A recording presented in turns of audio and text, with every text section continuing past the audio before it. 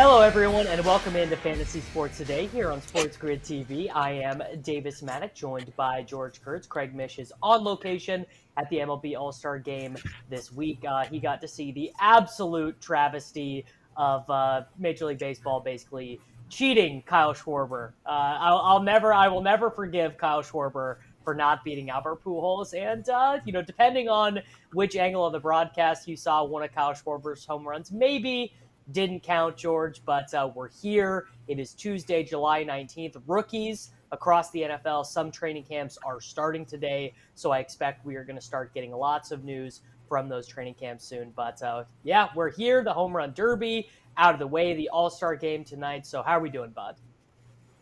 Yeah, like you uh, wasn't thrilled that they uh, apparently they can't count uh, as far as Major League Baseball is concerned here. I, you know, I thought it watching. I'm like, you know, you, you don't see the tracker going up. That ball wasn't gone. It's strange how they and they all cheat anyway. Remember when they throw, when they do this, you're not supposed to throw a pitch until the ball lands. And these guys, you know, as soon as they get swing, the ball's up in the air, they're swinging again. So it was all screwed up as it is. Uh, some of these guys were swinging well uh, a second or two past the final buzzer too, and those home runs seemed to count. So it's just a strange situation there. Uh, but yeah, Schwarber, I don't know. He didn't look comfortable there, and I had money on him. I had a parlay with him and Alonso to win the first round, but he didn't look comfortable at all last night. And I think part of it was like, you know what? I don't think he wanted to beat Pujols in, in some ways. Yep. Not that he was throwing it, but I don't think he wanted to beat him. I think you. I think you're 100 percent right. I think there was a coordinated effort to give Pujols, you know, a little bit of a swan song there with, uh, you know, the uh, the lights shining. I, I'm, I'm upset. I'm upset. Rob Manfred, you'll be hearing you'll be hearing from me. I'll be writing a letter to the commissioner's office about the results of Schwarber v. Pujols. Juan Soto is the eventual winner of the home run derby in the final round. Although, I mean, I think pretty clearly Julio Rodriguez in the mind of uh, in the mind of the average baseball fan, I think he looks like a winner. Absolutely comes out crushing in the first two rounds. I think in the end, the way it shook out, he ended up hitting like something like 19 more home runs than Soto did over the course of their matches. So, you know, uh, big, big night for Juan Soto, big night for Julio Rodriguez. The MLB All Star game will be decided by a home run derby if the game is tied after nine innings. I, I actually like this. I, I think this is fine. Now, the silly part of this, George, of course, is the fact that, uh, you know, this time it counts. The MLB All Star game actually determines home field advantage for the World Series. So that is a bit ridiculous. Uh, Rodney Hudson announces he will play this season for the Arizona Cardinals. Deion Sanders will donate half of his salary to complete JSU's new football facility. And apparently, Brett is telling me I'm wrong. They got rid of that rule, which, by the way, was one of the dumbest rules in professional sports. Uh, can't can't have the All Star game count for something. The way to incentivize, I, I've always said this, the way to incentivize participation guys to try their hardest is financial incentives for the All Star game. If you want, you know, the winner of the MVP of the All Star game gets I don't know, two hundred thousand bucks or whatever. Like I think I think that's the way to make the All Star games count. I don't think I don't think impacting the standings or you know the the championship is is the way to go. Uh, I would agree with you. The All Star Game is a showcase, right? It's a it's a, an event a TV event at that here. So to make it count in any way is just idiotic. In my mind, whoever wins interleague play should get home uh, field advantage. The American League wins the most games in interleague play, they get home field. It's National League, obviously they would get it. That's the way I would go with that. But uh, they didn't ask my opinion. But uh, you know, even the MVP is tough because all the players who have voted in, technically the best players, they won't be there at the end. Aaron Judge started the game, but he's gone by the third, fourth inning. And then we got three other uh, right fielders, center fielders going in. You know, Ohtani long gone, right? Acuna gone. You know, so I, it's it's hard. It's not like it was in the '70s where the best players played till the eighth, ninth inning. You know, they would play the game. They were the all stars. But uh, everyone everyone has to play nowadays. All right, I hate the idea of another home run derby if it goes to extra innings. I think that's nuts. Uh, I already saw it last night. I do not need to see it uh, see it again. And once again, you know, people wonder because they've already announced who these, these people would be. In the American League, it's Ty France, Julio Rodriguez. I forget who it is. Oh, the other guy is. The National League has more sluggers. I think it's Soto. It might be Soto, Acuna, and Schwarber. But also, you know, you're asking, it can't be like Aaron Judge and Stanton because they might not even be there in the tenth inning. These guys are starting. They're out once again by third or fourth inning, Now, yes, they might stay till the end of the game, but they might not. They might have a flight going somewhere and they're gone. We've heard this before that these all-stars split as soon as they're out of the game here. So you can't have those guys in it. So to me, it's just silly here. I understand you don't want, you know, some pitcher from uh, you know, some all-star, whatever, having to throw three, four, five innings. But right. why not designate somebody, you know, who's not an all-star? Let's say from teams that are out of contention, someone on like I don't know, Arizona or Kansas City, Zac Gallen and I don't know Brady Singer and they would be your designated guys who would throw multiple innings if it goes to extra innings. You want to have the ghost runner? Fine, keep up with that BS. But uh, to have another home run derby, I mean, come on, I, I don't need to see it again. It was on for like eight hours last night. I actually, I actually love this idea, George. I think we should take this even further. I think you know any team that, like, let's say, ten games back from a wild card, uh, you know, they they can nominate a starting pitcher from their team, not not for the extra innings, but to start the game, right? To to to just do their normal, you know, five it however long they go, right? Zac Gallen goes five innings against the American League All Stars, or uh, you know, Brady Singer, Zack Greinke, or whoever, you know, or some some crappy uh, you know, Baltimore. I guess the Baltimore Orioles doesn't really matter, but I, I, I think this is an idea that Major League Baseball should toy around with, guys. We are going to go ahead and run into break here real quick on Fantasy Sports Today. We got some fantasy baseball first half chatter. We have some fantasy football previews coming for you, so don't go anywhere. Stay on the grid. George and I will be back here in just a few minutes.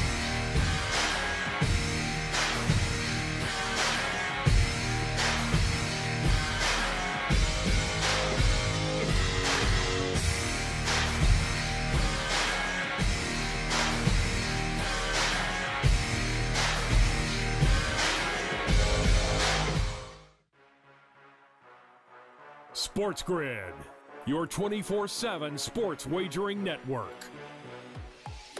They play less games. The early line. Take a look at the top four seeds here in the Big Ten. They're going to play Aaron less. Rodgers and the morning after. Wilson, we saw movement in the marketplace like Orlando Fantasy Magic. Sports the today. Cleveland Cavaliers are a little thin as well. Newswire. Minus 160 favorite on the money line today for Arizona. Pharrell coast to coast. That's where they win cups.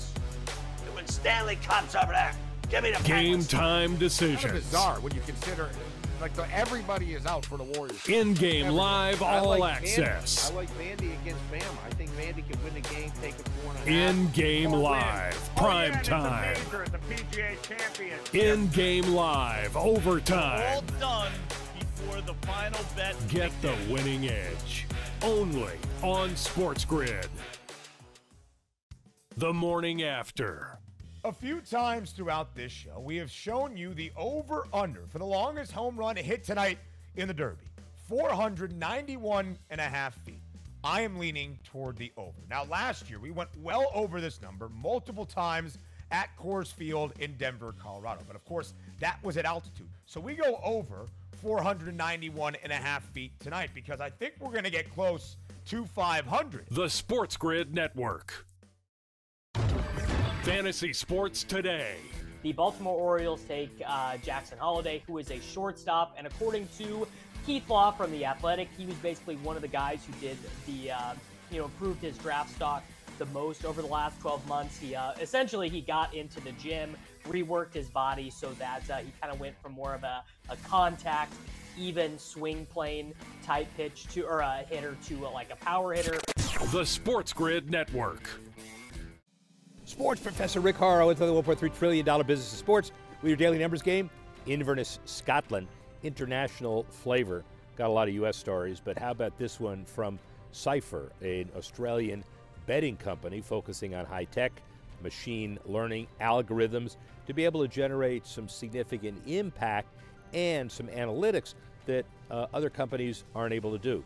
They raised a first round, raised a second round, and they're trying to figure out how over time to generate some impact that'll talk to the big boys and let them know data analytics is just around the corner. Australian company, but offices in Melbourne and New York, and trying to get a foothold with some of the American sports leagues as well.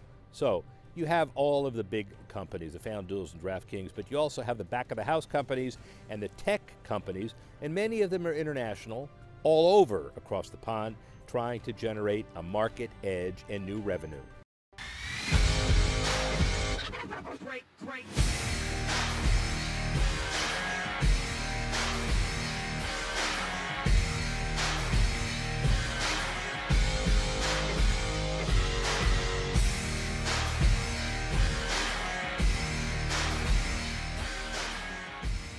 Everyone, and welcome back into Fantasy Sports Today here on Sports Grid TV. I'm Davis Mattek, joined by George Kurtz. No Craig Mish this week, but in his stead, we are going to be talking some fantasy baseball. We are uh, wrapping up basically the first half of the season here. Uh, we're definitely seeing have and have nots in fantasy baseball leagues. You know, your your 10th place team, you're probably not checking quite as much. You're probably not grinding the waivers as hard as you might have been two months ago. So now is sort of a natural time, George, to uh, you know take uh, take a second, stop, look, see who the first half league winners were, see who some of the most disappointing selections were. You know, there there uh, there've been, I think, a pretty interesting season in terms of breakouts. You know, we got Jon Berti coming off the waiver wire, stealing 20 bases. We have some young guys coming up. We had some some uh, you know high draft picks already really disappoint. Of course, you know my guy, fourth round pick Alberto Mondesi, not playing this season, but probably to me, I mean, this has got to be the most surprising league winner in fantasy baseball I can remember. But right now, Matt Carpenter, if you had the uh, the fortitude to pick him up off the waivers, what an unbelievable beginning to the season he is having for the New York Yankees. Batting 350, 13 home runs, 34 RBIs, 1300 OPS. I mean, this guy could not record a hit, George, for the rest of the season. You could drop him, he could get hurt, it doesn't matter. He has already boosted you so far up the standings with these stats. I mean, this is like this is really unbelievable stuff. Absolutely. And you figure the the only reason the Yankees signed him, by the way, this wasn't some great foresight that Brian Cashman had, was during that weekend in Tampa, they had COVID issues. They had COVID. A couple of guys went on COVID, and they they they were short players, so they picked up Matt Carpenter, who Texas had just released, and uh, bam, there it goes, right? It's just been fantastic for the Yankees. It's going to be tough for the rest of the season, however, because the Yankees just don't know how have enough spots for him to play. That's why they're trying to move him to the outfield now. See if he can play the outfield a little bit uh, in place of, of course, Joey Gallo, who's been maybe one of the biggest busts this season. So uh, it's interesting. He's he looks great, but the Yankees and the Yankees have to put him in the lineup somewhere. He's just too hot not to play here. But uh, it's it's finding playing time for him is going to mean that someone else has to sit. You know, they've already been sitting. Remember, LeMahieu, Donaldson, Torres, almost one of them sits every night because there's three players for two spots there. Now you throw Carpenter in this mix. Rizzo's not sitting, so he's got a DH. I mean, Stanton has to play the outfield. Or does Stanton sit? Does Hicks sit? You know, so there's they. And Aaron Boone's going to play this game. I say Aaron Boone. It's really Brian Cashman who's playing the game. So I don't think Boone sets the lineup. I think that's the uh, the analytics department upstairs. Someone, maybe two someone's have to sit every night. I mean, I think probably you're right. What does end up happening is they're just like, Matt, you got to do if you want to play and we want to keep your bat in the lineup, you you are going to be our left fielder and you got to do the best job that you can out there because having him play over Gallo is fine, you know, especially with the production that Gallo has had thus far. The the problem would be is you don't want Stanton and you don't want Judge playing center field, right? Because because ideally you would you would probably have Matt Carpenter's bat in over Eric Hicks or Aaron Hicks, but Aaron Hicks is a center fielder and he is a pretty good one. They don't really have another replacement center fielder, so that that that definitely does become a problem. Or, or maybe they just decide to eat it and they just have bad outfield defense and like you know whatever that that ends up that ends up being fine but kind of interesting to see what they do. They're also interesting to see what they do at the trade deadline you know what do they view as some of their weaknesses so they can win uh, potentially another world series. Our next guy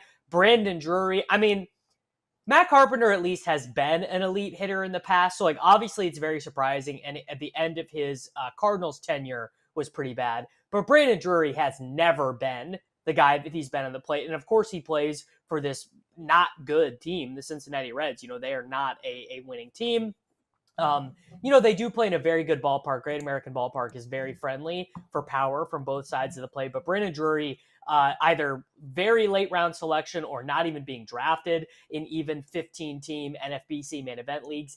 18 home runs in the first half of the season and not even killing you with batting average. You know, sometimes with these guys who find the power stroke in the latter half of their career, they completely give up the batting average and they totally sell out for power. But 278 in, in today's Major League Baseball is totally fine for a batter. I mean, Brandon Drury, really impressive first half of the season. Absolutely. You know, I said Brandon Drury was supposed to be a good player, but he just he's been missing that one ability throughout most of his career. It's called availability. All right, he's been hurt a lot. This year he's staying healthy, But you bring up one thing here. Now he plays in the Great American Small Park there, which certainly helps the numbers, right? Odds are, though, we have 15 days until the trade deadline. It's August 2nd, right? 12 days, 14 days. I can't count. Uh, 14 days. So two weeks till the trade deadline here. Odds are he's on the move. Now, that's not to say he couldn't go to another hitter friendly park. You know, he very well could, but the odds of it being as good as the Great American Small Park, mm, he's also could be that guy that goes to a contending team that doesn't play every day because he can play multiple positions third, second, some outfield. He could be that, you know, super utility guy for them, you know, a depth player. So that's my only worry about Brandon Drury. He stays with Cincinnati, which is what you really where you want him to stay. You want him to stay with the Reds. I think he'll keep producing. Maybe he's not to this levels, uh, Davis, but I think he'll keep producing for you. But I'd also be surprised if he's not on the move. I think Cincinnati pretty much if it's not nailed down, they're trading it. Yeah, I mean, one of the most interesting questions as we head into the trade deadline is what are the Cincinnati Reds going to do with Joey Votto? Does Votto want to be traded? Does he want to, you know, have his his last year, his last 18 months, you know, playing for for some team that is on the edges of competition? You know, d- does he does he value more a chance at a World Series or does he value retiring as a Cincinnati Red more? I think that's pretty interesting. I I could not. Uh, I I don't know what I would do in that situation myself. So interested to see what's going on there. And then now finally we get to Julio Rodriguez, who you know was uh, was was different than Matt Carpenter and Brandon Drury in that he was not free in drafts, and you'll always see this with young guys, right? Uh, you know, uh, Jarred Kelenic last year, Bobby Witt Jr. last year, Bobby Witt Jr. this year. You know, no no success as a major leaguer was a seventh round pick, but whatever your expectations were for Julio Rodriguez, he is blowing by them. 380 plate appearances in the first half of the season, 16 home runs, 21 steals, 275 batting average, 351 woba. I mean, how how high can Julio Rodriguez go in drafts next season? Particularly, by the way, that the Mariners don't look like a laughing stock of a team, right? That's a, that's a huge part of this. If if he's going to be playing meaningful baseball and he's going to have run producers and and guys who can drive him in behind him, then his value is going to be super high heading into next season. Julio Rodriguez. I mean, wow. Uh, he's gonna be the runaway rookie of the year award winner in the American League. Sorry, Jeremy Pena. It's just you're not even close yet. And what a show he put on last night uh, in the home run derby. Uh, Gabe Morency said earlier in the day that he had ice water in his veins. He thought he might be able to win the thing. Oh, Gabe was right. I mean, what a show there. As for where he goes in next year's drafts, I mean, uh, I have him in my home league. It's a keeper league. I have him in the 17th round. I am tickled pink because I know I get to keep for two more years in round 17.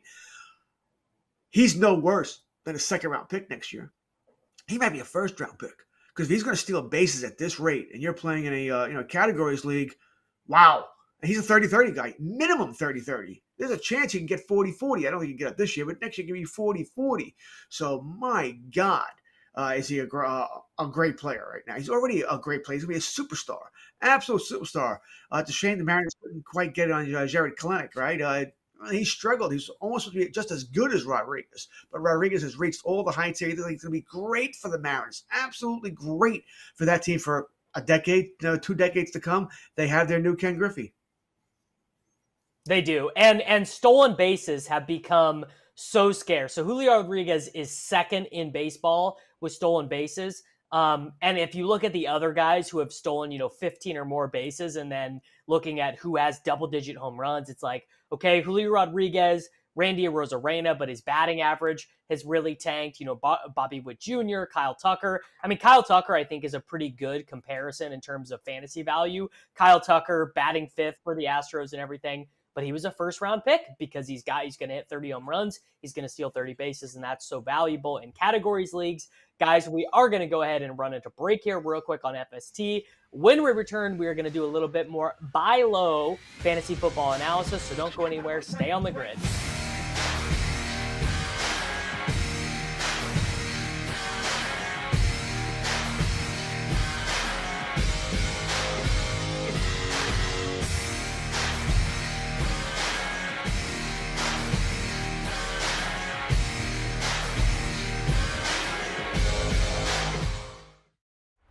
If you want to pick like a pro, you need to be in the know. The future of sports gaming is now, and we take you inside the lines, breaking down all the action and what it means for your bet slip. Turn down the game and tune into Sports Grid Radio. Other networks talk sports talk, but we walk the walk right up to the window. Sports Grid Radio. Listen free on the Sports Grid Radio app, iHeart, or TuneIn, or catch us on Sirius XM Sports Grid Channel 159. Maurice Allen, 2015 2016 European Long Drive Tour Champion, 2017 World Number One. Me personally, I keep my game face on me all the time. Especially coming out of the bunker, leaving the range, or even leaving the course. What's your story? The morning after. Who was your pick for the home run derby tonight, or at least where you think the value on the board is? The value for me would would be with Julio Rodriguez at plus 850. And as I said at the top, the path to get there is very, very important. Pete Alonso is the favorite. He's fantastic at this. We all know this, but going up against Ronald Acuna in the first round is no easy hmm. task. I think on the other side for Kyle Schwarber, I think it's a little bit easier for him to move to the second The round. The Sports Grid Network. Fantasy Sports Today. A running back who I am not looking to buy as much on is Ezekiel Elliott of the Dallas Cowboys. Had the worst season of his career effectively last year, played in every single game, only averaged 4.2 yards per carry. Uh, really ineffective as a pass catcher, his lowest yards per target of his career. Uh, he had 284 touches, 1,200 yards, did score the 12 touchdowns. The Sports Grid Network. You might be the next daily fantasy millionaire. No matter what you watch or where you play, learn from the world's best DFS players. Lineup building tools, expert projections, and advanced stats change the way you play the game. Dominate the competition. DailyRoto.com, the player's choice. The early line. Is it almost too on the nose that Kyrie Irving was supposed to show up to the Drew League and left everybody leaving themselves questioning where Kyrie was? Because you're right. Can you imagine? Even though it's a Drew League, we're not even talking about all NBA players. But if they're in the same backcourt here, you know, how he gets what, seven, eight, nine assists there in the first half. You know, they're really going up and down the court, two on one fast breaks, alley oops here to LeBron James. Only on Sports Grid. Great, great.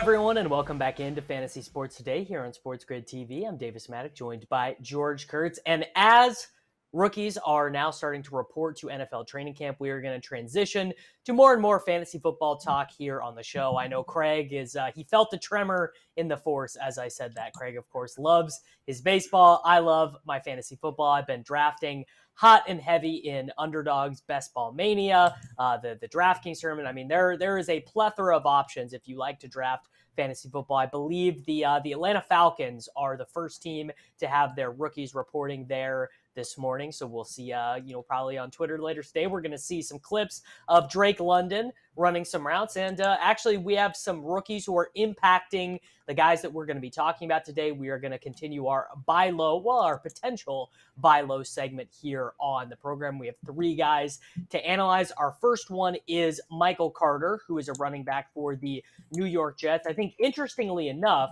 Michael Carter was a, a, fourth round rookie who was maybe not projected to actually play that much last season for the Jets. They signed Tevin Coleman, they had Ty Johnson, but Michael Carter led the team in rushing attempts 147 rushes, 639 yards, 4.3 yards per carry, was actually targeted 55 times in the passing game. I think what a, a lot of us remember about the New York Jets from last season was uh, they did not look particularly good when Zach Wilson was playing quarterback, but when Josh Johnson and uh, uh, Mike White were playing the quarterback, the running backs were good. Elijah Moore had a couple 20 plus fantasy point games. So, very interesting. I think one of the biggest storylines for fantasy football because of how cheap the Jets players are is is Zach Wilson going to be the guy And what is the playing time split between second round rookie Breece Hall and Michael Carter going to be like? Is Tevin Coleman going to work in? Is Ty Johnson still going to be there on third downs? And, and Carter is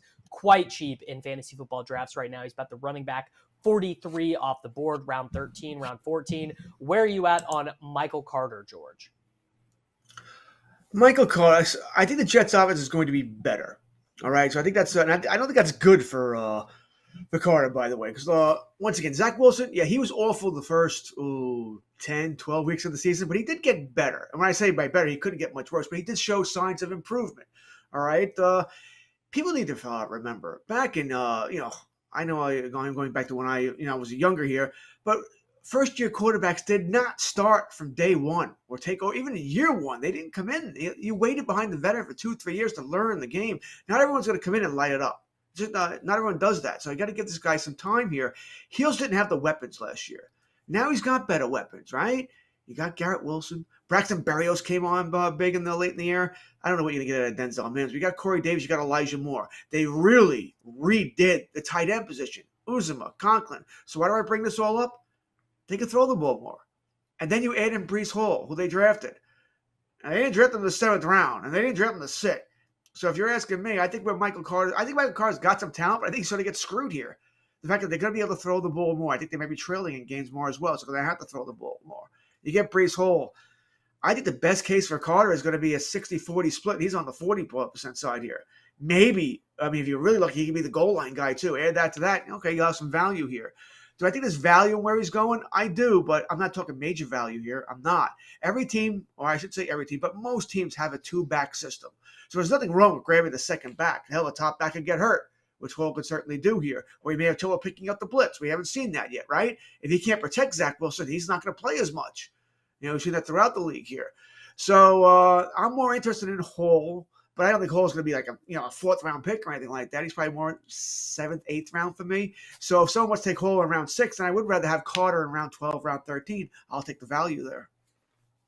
Yeah, and uh, I suppose it is fairly interesting that Breece Hall is one of the few rookies who has not signed his rookie contract. But again, remember this this stuff gets worked out like 99% of. I can't even remember the last rookie to hold out since um, the the basically the amount of money you can make as a rookie is already predetermined the way the NFL draft works. No one can be paid above or below slot. It's, it basically comes down to protections and guaranteed. So basically, what Breece Hall is asking for is more guaranteed money. I think he will probably get it. I think it's uh, you know the team needs Breece Hall to get into training camp and get working because I think you're right. Uh, they I I would imagine taking him in the second round, they want him to be their starting running back. They would prefer him to be that 60 part of that 60 40. And another thing you said that I think is very apt is a lot of playing time for rookies is going to be based on how can you function in pass protection. I think that was why Ty Johnson played so much last season, even over Michael Carter, though Michael Carter was playing better, which is Ty Johnson is, uh, I believe, a four year NFL veteran. He understands pass protection, he understood the scheme, and he kept the quarterbacks from getting blown up. We talked about that uh, yesterday with Ezekiel Elliott versus Tony Pollard as well. Our next guy here, George, just not a guy I like for fantasy football at all. It's Josh Jacobs. He's coming off of his lowest yardage total of his career. Uh, he did miss a game last season. Josh Jacobs, he had 217 rushes, four yards a carry. Uh, was actually more involved in the passing game than many people expected him to. It was the most targets of his career 64 targets, 54 receptions. But in the end, 1,200 yards, nine touchdowns. Kenyan Drake remains on the roster. They took Georgia's Zamir White in the fourth round of the NFL draft. Um, I guess really what it comes down to for me is I think Jacobs' usage was about as good as it could get last season with the 64 targets, and he he's fine he's just very uninspiring to me. I don't really think he's got league winning potential in him. And I think the addition of Davante Adams and then the contract extensions for Darren Waller and Hunter Renfrow mean that I, I in the red zone, I think those guys are going to get used really heavily. So I just I, I even even at a fifth, sixth round cost, I'm just not that interested in Josh Jacobs. Yeah, I'm right there with you. Now keep in mind, if he's a running back too, I can live with that but I don't know if the reception is going to be there again. You said he had 54 last year, 20, 33, then 54. That's a big, that's a big jump. a 50% jump there. I don't know that he's going to see that again in the 50s. Uh, Davante Adams. Waller should be healthy all year as well. Maybe he was hurt for a good part of last year. Um, he got hurt versus Dallas, so that's going to interesting. He only had 217 carries last year, which is by far the lowest of his career. He played uh, 15, so he missed two games last year. So I guess there could be something to that as well. But my thing is this: for him to pay off for you, you need that touchdown deodorant, right? I mean, he's at 26 in three seasons. That's averaging nine a career. I'm not saying he can't do it again, but you need that because I don't think the yard is going to be much better than what it is. I mean, what are we hoping for? Maybe he gets to a thousand. His uh, his highest is 1150. Middle was 110.65. Last year was 872. So what are you hoping for here? A thousand? Not a great great year there. So you need those touchdowns to come in there. Uh, and I, that's always hard for me to bank on here. I do think they're going to score some points here, but I also think they're going to throw the ball more often. The defense is not great. You know, it's not terrible. It's not great. We know they play in a very what looks like it's going to be a very high scoring division. That's six games where I don't know how much run they're going to be able to do with Jacobs here. So I have the same worries uh, as you. I just added a, a, few more for you. I said I don't mind them if I if I stacked up on for whatever reason I took quarterbacks early, maybe six points for a touchdown pass early. Go you playing a super flex, which uh, means you might take quarterback early. Maybe went bananas on receivers because they're safer than running backs and they are in this day and age. Uh, then I can say, hey, you got Josh Jacobs as your second uh, running back in the sixth round. I'm good with that. Yeah, I mean, I think those are probably the builds where he makes more sense, where you just kind of need a guy who can grind out 14, 15 fantasy points per week. Our final guy here, I just really don't, uh, I don't know where I'm at on DeAndre Hopkins. So he only played in 10 games last season. He had a nagging injury that crushed his efficiency all year. Now, his first year in Arizona, he was phenomenal played in all 16 games, 160 targets, 115 receptions, 1,400 yards, six touchdowns. Funnily enough, he actually scored more touchdowns in only 10 games last season. He started out the year with a two touchdown game against Tennessee. He had two touchdowns against Cleveland on only four targets, but he was, uh, you know, he suffered the injury. And now he is suspended for six games due to a, a performance enhancing drug suspension, which I guess, you know, to be to be fair here, uh, he has said he, to his knowledge, was not taking any steroids, you know, was not taking any PEDs. Uh, I can't remember what his specific excuse was.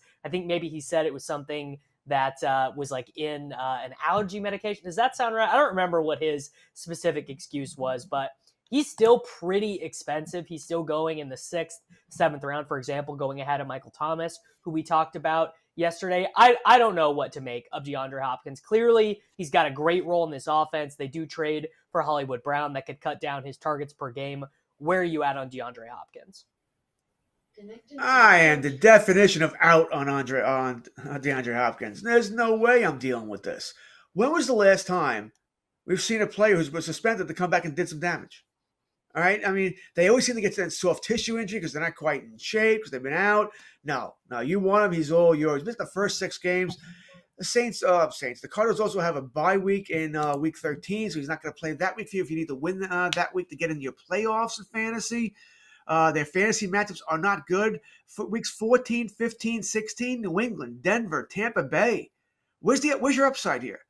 Week seven, they're playing New Orleans. Week 11, they're playing San Fran. He's got a match against the Chargers, the Rams. No, no, there's no value. I mean, listen, if he falls down to me where everyone forgot about him, he's there in around 11, around 12, fine.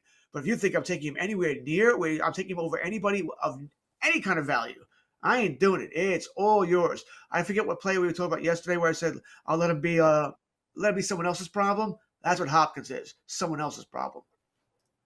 Yeah, uh, you're right. By the way, if you're drafting on MFL, my fantasy league, the way they have their rankings sorted, DeAndre Hopkins is way down there. Uh, I think I think in my Scott Fishbowl league, he went in the 11th round. Obviously, a little bit of a different format there, but there I uh, I do like him. But guys, we're gonna go ahead and run into break here real quick on fantasy sports today. When we return, George and I will be coming at you with fantasy or reality. See you in just a moment.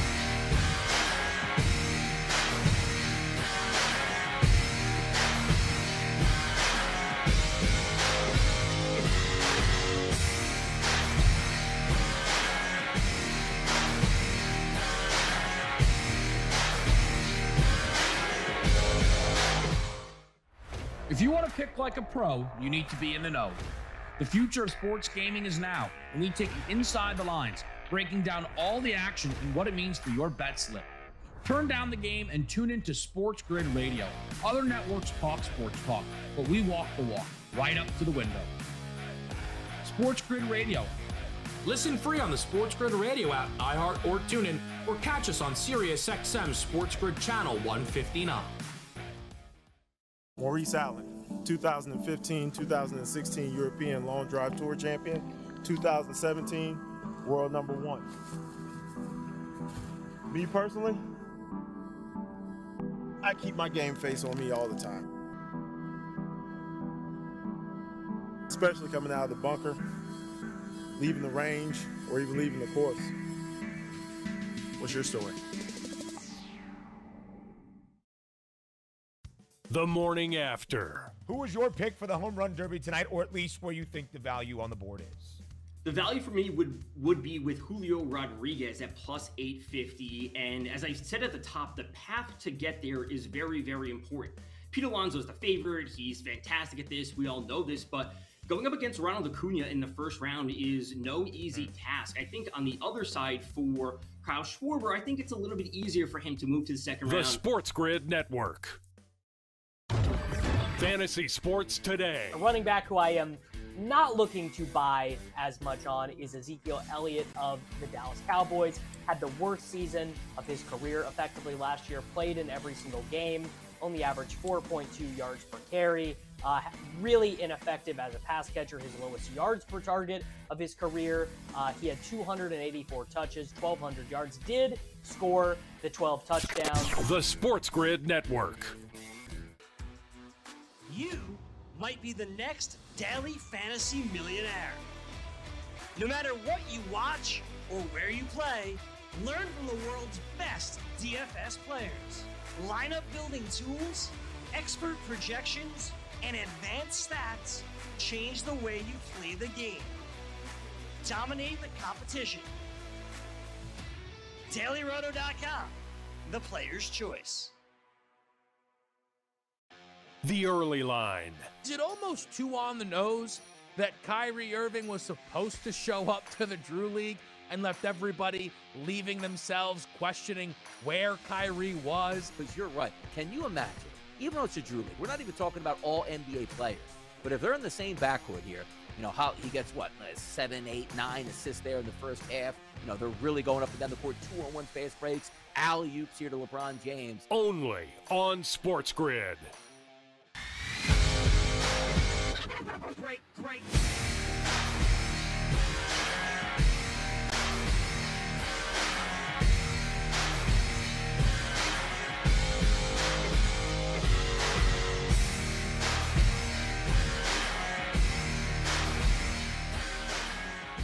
Hello, everyone, and welcome back into Fantasy Sports Today here on Sports Grid TV. I'm Davis Mattek, joined by George Kurtz. Before we get into fantasy or reality, I need to remind everyone to follow at Sports Grid and at Sports Grid TV on Twitter. You can also follow Sports Grid on Instagram.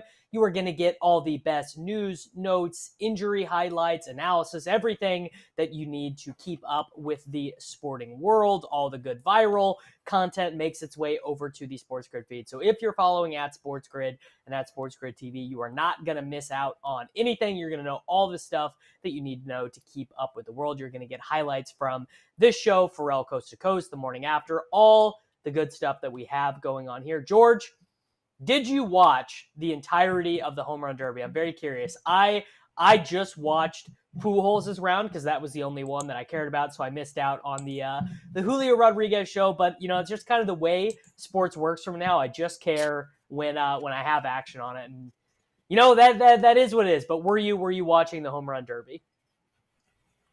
Well, I'll, need a ruling on this. I did watch it, yes, and I watched the entirety of it, but I recorded it.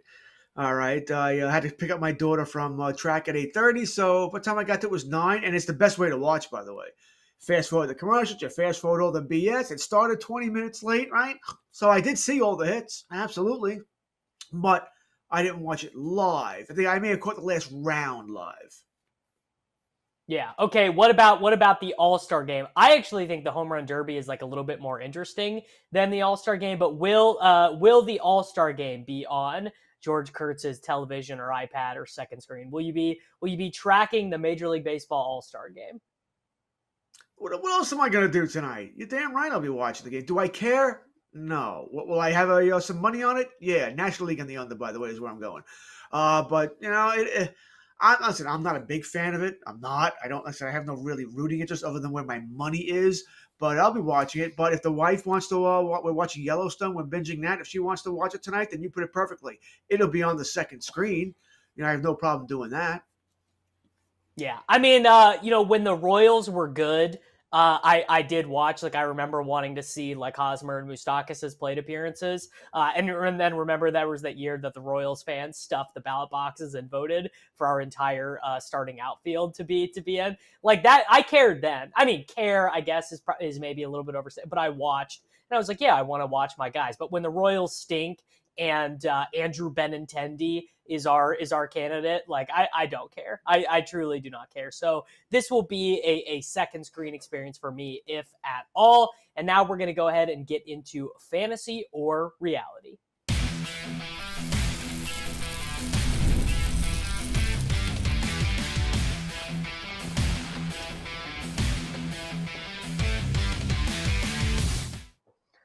All right, we are starting off here with a, a time honored tradition of the uh, the old timers game, and I I think this is cool. It's actually more of a tradition uh, across the pond over in Europe.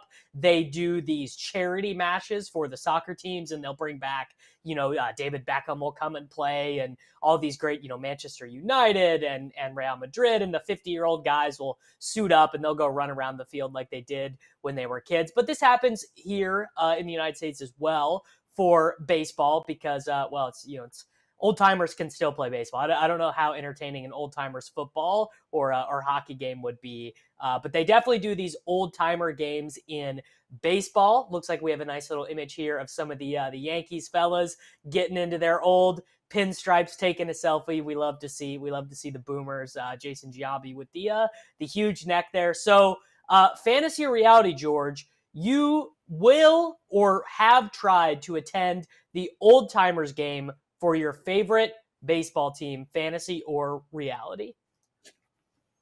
Now, as people can see behind me, I am a Yankees fan, and I had a chance to go to this year's game. So, uh, uh, and I wanted to go. It's a long day at the park, mind you. Keep in mind, you know, it's mid uh, Yankee All Star Game is July. Uh, sorry, Old Timers Day is July 30th this year, Saturday afternoon. So uh, you're talking, you're going to be there five to six hours. You're going to watch all the festivities, but they're not going to play. The Yankees are not going to play an Old Timers Day game. They're just going to have ceremonies this year and introductions and all that, but they're not going to have an actual game. Uh, so that was enough to make me okay. I'm not going then. If you're not going to have the actual game. Also for me, uh, I mean, you want to run through my favorite players? Uh, Graig Nettles from will not be there. Thurman Munson obviously passed away, so he won't uh, be there. Uh, Rich Gossage is not invited back anymore because he, you know, get off my lawn about uh, today's relievers and how they only have to pitch one inning, and he was yelling at uh, Mariano Rivera, so they don't have him back. Paul O'Neill will be there. You know, Derek Jeter, I doubt would be there. So uh, I decided not to go. I'm actually going the next day on the 31st. So go figure. But I think I think it's it's great. I think the Yankees do it very well. Not all teams do. I said so. Uh, it's a reality to me. I've been before, and I came real close this year. Uh, other reason I didn't go is I think uh, our boss would have a heart attack if I took Saturday off, and I need a couple of Saturdays off after that for my daughter's birthday. So uh, work also came into it, as I didn't want to uh, take two two out of three Saturdays off.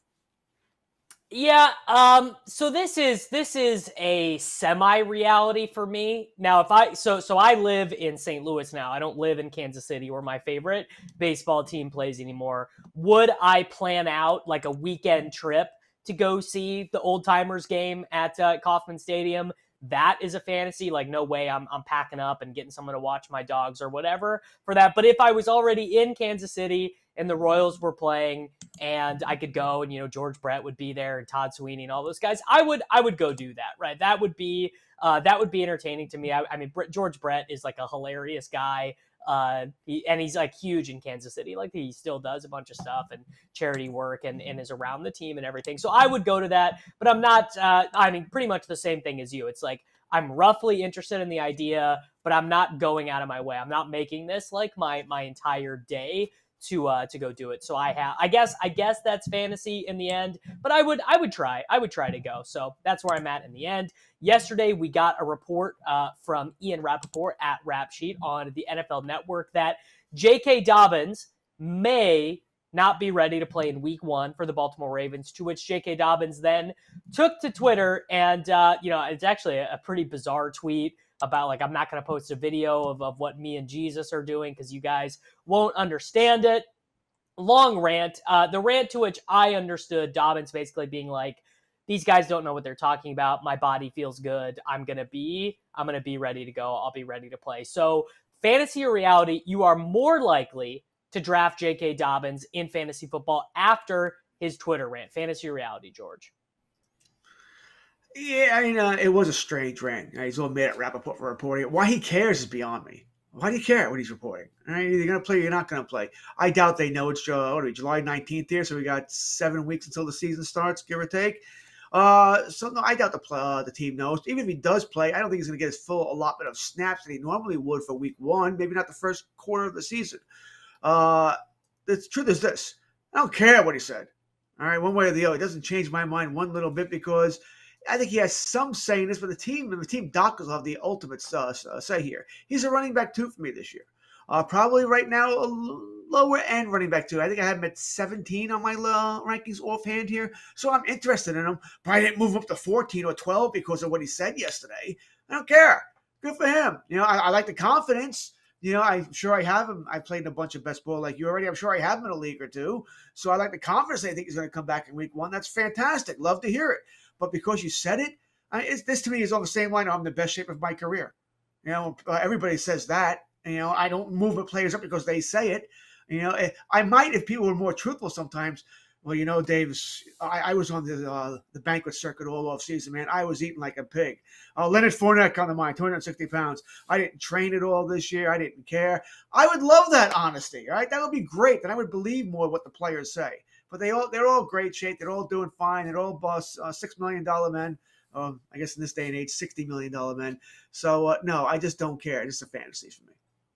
Yeah. So I, I actually have reality, and it's not because of the tweet or anything. It just is going to coincide this way that I think Dobbins is going to start to fall a little bit in drafts because of this of this rap sheet report that he's not ready to go by week one. And I also think, you know, now that training camps are starting, rookies are reporting and all that, I think we are going to get a uh, you know the athletic uh, you know one of the, the beat writers there is going to write the article about oh, you know, they bring in Tyler Badie, they draft him, they sign Mike Davis, and their plan is to start the season with, you know, a timeshare, right? Mike Davis is going to play on some third downs. Gus Edwards is going to be in there. Because this injury that J.K. Dobbins had, he did the ACL MCL combo, which is pretty difficult to come back from. So small, small reality for me there. Finally, uh, it was announced yesterday that Desus and Mero the Bodega Boys, their show on Showtime is going to be canceled. And I think more importantly, these guys are, you know, known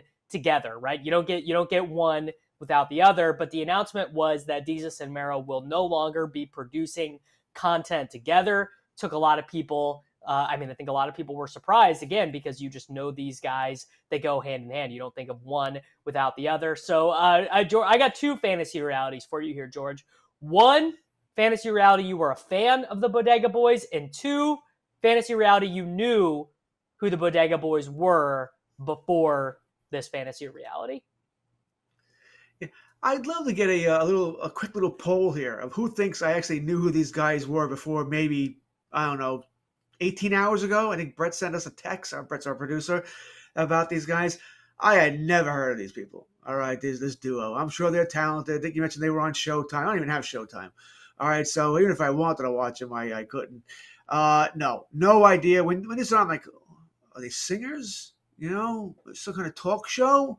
You know, what, what's? I have no clue who these people are. None. All right, they look fun. They look like a couple of good guys to hang out with, but other than that, I have no idea. So no, are fantasy. Like I said, never heard of them before yesterday. Before I got the text that this was coming on the show. Uh, I, I, I got nothing for you. I couldn't even tell you what the show's about. It could be a big sports show, and I wouldn't know. No freaking clue. Yep. Uh, so so reality. I do I do like the Bodega Boys. I do I do enjoy these guys. They've they've produced some pretty hilarious Twitter content in the past, and their their show on Showtime is pretty good. Now, again, it's like it's like most things that are are live TV that you need to be watching. Like I'm not. This is not appointment viewing for me. The same way that, like, if you ask me, like, oh, do you like LeBron's show, The Shop?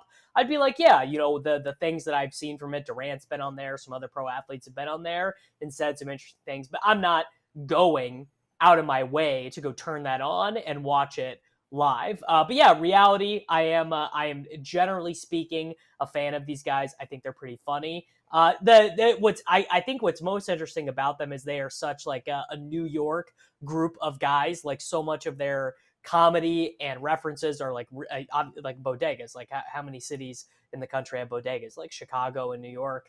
maybe maybe LA has bodegas. I don't I don't know about the classification of uh, Los Angeles bodegas, but it's not it's not really a big thing. But yeah, I do enjoy them. But uh, you know, also some of their stuff kind of gets lost on me because uh, I don't I don't live in New York and have only been there once and don't know a ton about it. Uh, but yeah, reality like Desus and Mero. Very interested to see what comes next for those guys. I wonder, um, you know, I wonder if they're still going to stay in the realm of sports. I wonder if one of them got a, a big offer from ESPN or Fox Sports or something like that, and the other one didn't want to go. Always kind of interesting uh, it's just interesting when a creative tandem gets uncoupled. Then what do they end up doing? I always think of, of Bill Oakley and Josh Weinstein uh, from The Simpsons when it comes to that stuff. But guys, we're gonna wrap up fantasy reality there. Gonna go ahead and run into break here real quick on FST. When we return, George Kurtz and I will be doing what we always do to end the show, the Sports Grid 60. So don't go anywhere. Stay on the grid. Be back for that in just a moment.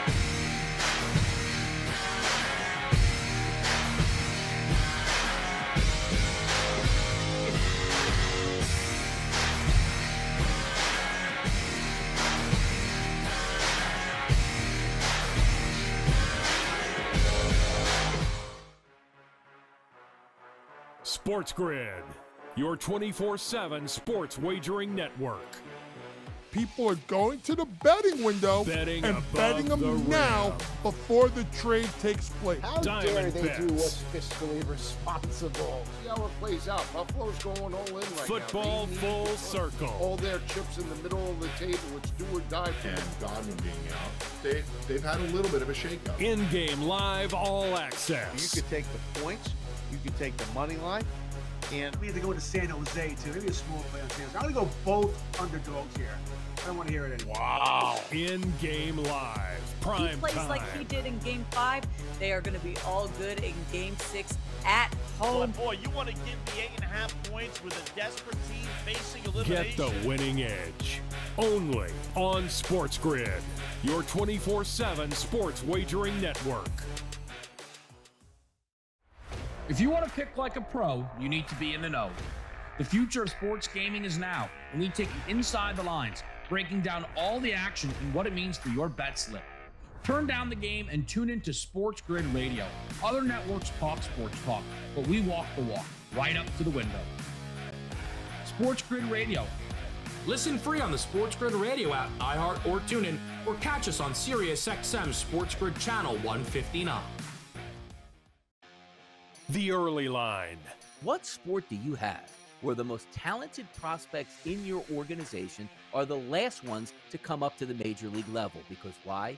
You don't want to pay these guys? It's amazing that Major League Baseball gets. There should be an incentive to bring up your youngest players first so you can get them to the major leagues and hopefully, yes, end up winning. Adley Rutschman came up this year for the Baltimore Orioles. Seemed like he's a 36 year old rookie at this point. Only on Sports Grid. You might be the next daily fantasy millionaire. No matter what you watch or where you play, learn from the world's best DFS players. Lineup building tools, expert projections, and advanced stats change the way you play the game. Dominate the competition. DailyRoto.com, the player's choice. Fantasy Sports Today. The Baltimore Orioles take uh, Jackson Holliday, who is a shortstop, and according to Keith Law from The Athletic, he was basically one of the guys who did the, uh, you know, improved his draft stock the most over the last 12 months. He uh, essentially he got into the gym, reworked his body so that uh, he kind of went from more of a, a contact, even swing plane type pitch to or a hitter to a, like a power hitter. The Sports Grid Network.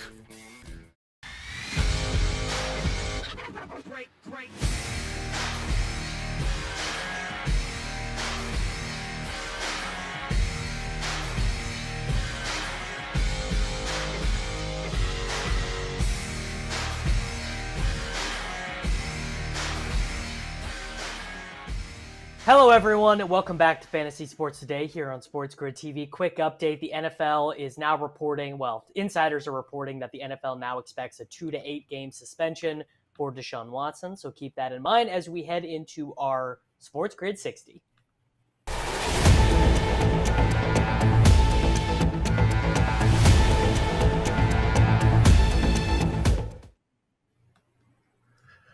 All right, now uh, looking quickly through my Twitter feed here, I can't see anybody big time reporting that. By the way, it's not coming from Rapoport or Schefter that it's two day games, but let's just say it is. I'm going to find it very interesting what happens next because remember, either side can appeal this, including the NFL side, which I find is strange. Why I find it so strange is guess who hears the appeal? Goodell or a designated representative that Goodell names, and I gotta think Goodell wants to hear this. So uh, and he can he can raise it right? Go from eight to seventeen.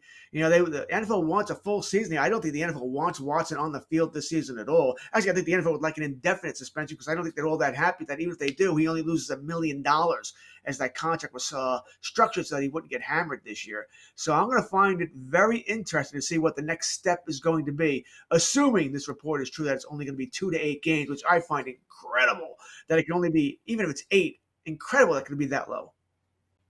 Yeah, the Watson stuff is very strange to me because, uh, you know, on one hand, uh, clearly it, it seems that the NFL wants a lengthy suspension, but then on the other hand, like a lengthy suspension is is bad publicity. But is it really bad publicity if you show that you're harsh on crime? Like it's it's all such a a mind melting experience, and really at the end of the day, you realize that the thing that really matters to these organizations and the thing that matters to the NFL is the almighty dollar, right? If, if there was no moral outrage, Deshaun Watson likely would not be suspended at all because he has not received a, a criminal charge. The only reason they're pondering suspension is because they know people are going to be upset about it. So, a great reminder to not look to professional sports leagues for our morality. Guys, we are going to go ahead and get out of here. Stay on tune to Sports Grid for the rest of the day. Thank you to George. Thank you to Brett. Thank you to everyone over at LTN. We'll see you back bright and early tomorrow morning.